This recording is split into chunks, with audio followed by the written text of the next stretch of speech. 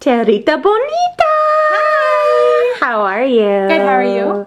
Great. Good. Um, it's a froth, auto froth time Auto froth time. here at Jura. SCG. Okay. Mhm, Yep. Um, so Jura Capresso, they're like a combo company, and they have Mm-hmm. a few other Capresso brand. Exactly. Yep. Um, but this is kind of more of this is with the Jura label for, you know, pairing. I guess maybe with like the micro Mm-hmm. yes. one. It looks beautiful beside the micro one. We've had it side by side with the micro one for a little while in our showroom, and it's Yeah. getting lots of love. So Cool. they look really nice together. Okay. Um, so this is the Jura automatic milk frother, mm-hmm. um, and basically, like the other milk frothers, has a couple of minimum and maximum lines inside, so you can see for your more or less foam where you're at.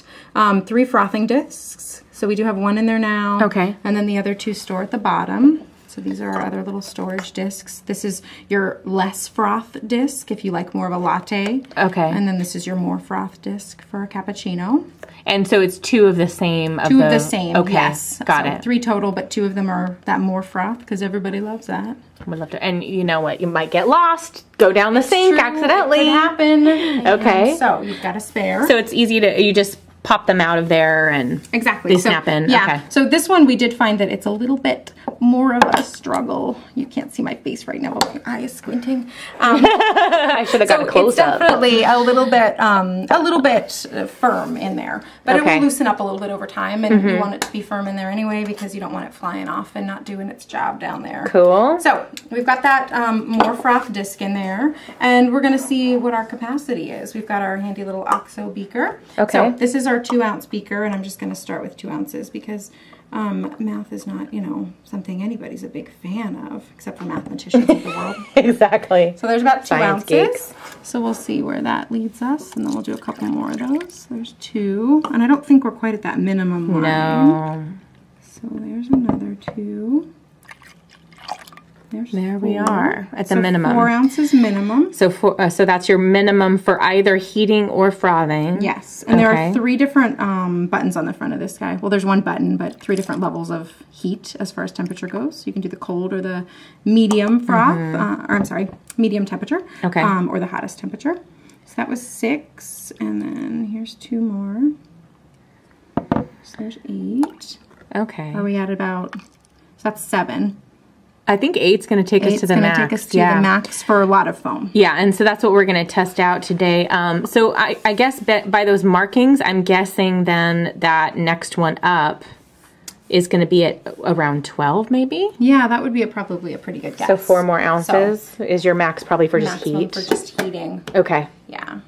So this guy goes on here, and then basically um, your one little button here, and then bottom icon that's blue is going to tell you you're just frothing. That middle point is um, mid middle heat basically, and then highest temperature. And are we there? One, two, three. There. And then we'll just start a little timer to see how long that takes us to get um, basically heating and frothing Okay. to full temperature and full froth with this guy. So the bottom blue one was it'll froth it up, but it's not going to put any Yeah, heat. so it's basically stirring it and giving you a lot of volume. Whisking it you like crazy. Mm-hmm. Yeah, if you like an iced drink and you want a little frothed milk on top, which is always fun in the summer.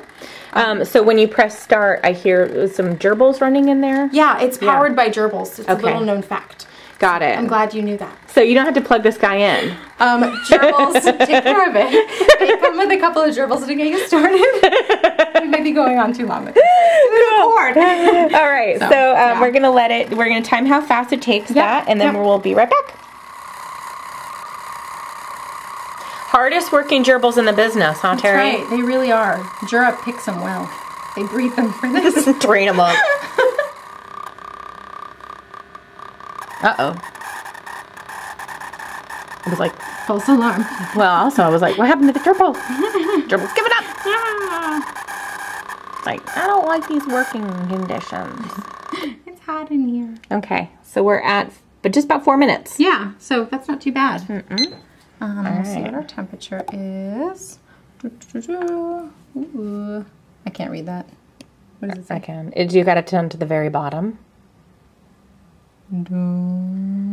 Yeah, it's climbing. It's at down. 153, 54, 55. It's going. Look, let's get up to 160. Ooh, it's slowing down. Oh, Come on, you can do it. Oh, 162. Well, that's pretty good. 160. Uh, right around 162 was where it topped off at. Well, that's good actually. Yeah, you know, that's really nice. Um, latte art quality foam is usually frothed to about 140 before oh, the okay. proteins start to break down. So That's pretty good then. yeah, Um, so the other thing to be aware of this this gets a little hot down Super here. So ta- make sure that okay. you, you touch it by just your little rubberized grip there. all right. And then our our pouring here. Oh, look at the steam coming off. That's pretty nice. Yeah. Whoa. Wow, that's, yeah, that's really pretty good. fluffy. Can you get it all in? We'll have a little overflowage there. That's lovely. yeah, that's pretty nice. Definitely gets you some good stiff stiff foam. Yeah. That's awesome. It's like egg whites.